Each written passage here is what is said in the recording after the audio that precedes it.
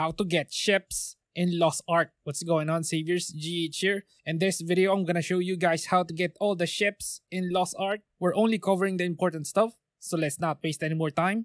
Let's do this. First ship, the Eurus. How to get Eurus Lost Ark. And to be able to get this ship, you just need to do the daily quest, ride like the wind, until you get the right amount of points to get the Reputation 3 level rewards. Here it is. As you can see, you can get pirate coins and the Eurus ship item. You will just need to use it and receive the quest and the ship. Second ship, the Brahms. How to get Brahms in Lost Ark. Now, to be able to get this ship, you just need to do the daily quest of Lopang Inc. until you get the right amount of points to get the Reputation 3 level rewards. These are the daily quests, guys. It's the special delivery quest. Now, here is the rewards. As you can see, you can get a few rewards which includes the Brahms ship. So just use this item and receive your ship. Now, third ship, the Tragon. How to get Tragon in Lost Ark.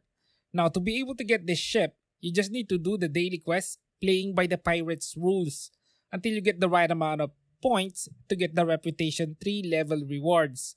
Here it is. As you can see, you can get a few rewards which includes the Tragon ship. Just use this item and do a little bit of quest and get an anchor of the Tempest at the port of Rohendel.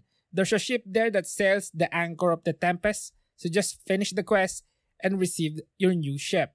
Now, if you can't see the daily quest, then maybe do the quest line in this island, Gravis, get the Hypnos Eye quest there, and finish it to unlock the daily quest playing by the pirates rule. Now, fourth ship, Astray. How to get Astray in Lost Ark. Now, to be able to get this ship, just go to Blackfang's den over here and look for the shipbuilder NPC over there. Here it is. You're gonna need to get 5 items to craft this Astray ship. Now, the blueprint is acquired by doing the Sheadrift Sea Gift daily quest until you get the right amount of points to get the Reputation 3 level rewards. This is gonna take you a while to get, so make sure to do it daily. Now, the Astray operation manual is obtained in this NPC, just near the ship builder. It requires 300k pirate coins. So open up your high seas chest and trade sun coins to get more pirate coins. Now, the certificate of pirate.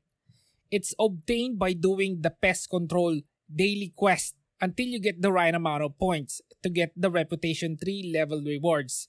And yeah, I forgot, I keep saying daily quest. What I mean there is the Una's task quest. Here it is. Just press the adventure icon over here, then Una's task, and there goes your daily quest. Now let's go back to the materials for the Astray ship. Now the timber, just get it from trees. And the ship part from a city processor, like this one. Or you can just buy it in an auction. Now for the final ship, Eibern's Wound, or what people call the Ghost Ship. How to get Eibern's Wound in Lost Ark. Now, to be able to get this ship, you just need to do the daily quest Bleak Night Fog until you get the right amount of points to get the Reputation 3 level rewards, which includes the quest for the Eibern's Wound ship. Now, the Bleak Night Fog quest requires you to do the Ghost Ship weekly event. And to do the timing, you just need to click the Procyon compass over here and click the appearance notification info of the ghost ship. And when it's time for the ghost ship, you can find the item level 40 ghost ship over here, the 960 ghost ship over there, and the 1370 ship in here. So just visit one of those and defeat the boss in the ghost ship. So just keep doing the daily quests with the use of insta finish items or blue shards to quickly get your own ghost ship. It will still take you two weeks though. And that's pretty much it. I wish you luck on your adventure, good hunting, and this is Gaming Hardcore. See you in the next one.